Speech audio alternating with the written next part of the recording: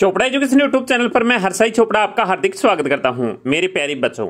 ये एक reminder video है। इसके ज़रिए मैं आपको रिमाइंड करवाने जा रहा हूँ कि नीट 23 के एप्लीकेशन फॉर्म फिल करने की लास्ट डेट 6 अप्रैल 23 रात 9 बजे तक है।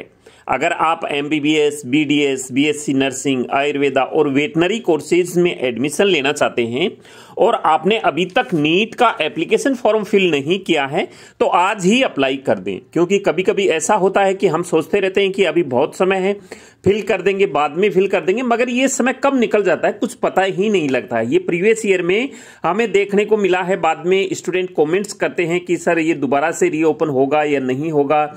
हमारा तो फॉर्म फिल करने से हम वंचित रह गए तो इस प्रकार की आपसे गलती ना हो।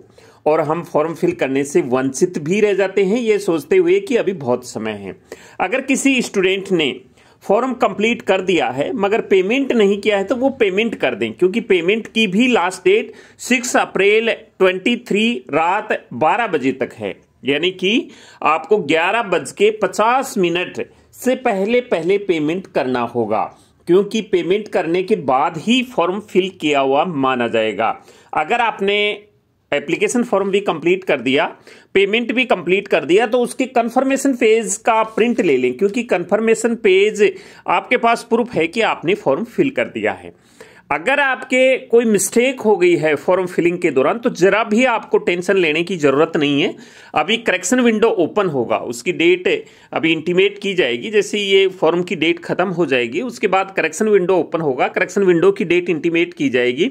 उस करेक्शन के टाइम में आप करेक्शन कर सकते हैं। फिर भी अगर कोई स्पेलिंग मिस्टेक है, आपके डॉक्यूमेंट्स में कोई स्पेलिंग मिस्टेक है तो आप एक एफिडेट दे करके एडमिशन के टाइम में उसको पूरा कर सकते हैं।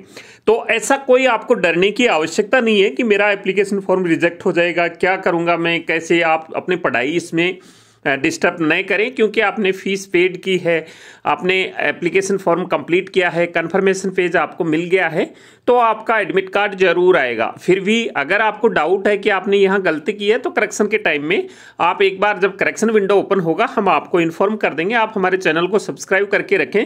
जैसे ही करेक्शन विंडो ओपन होगा तो उस समय आप क्या क्या करेक्शन कर सकते हैं, कैसे आपको करेक्शन करना है, ये सारा हम समझा देंगे। तो ये जानकारी थी नीट के एप्लीकेशन फॉर्म के बारे में। मैं फिर से आपको रिमाइंड करवा रहा हूँ, क्योंकि ऐसी गलतियाँ हो जाती हैं।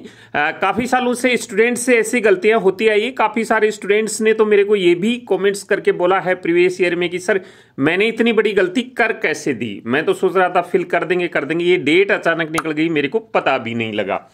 तो इस प्रकार से आप इस फॉर्म को फिल कर सकते हैं। तो ये जानकारी थी नीट के एप्लीकेशन फॉर्म के बारे में। मिलेंगे नई अपडेट के साथ नए वीडियो में। तब तक के लिए जय हिंद।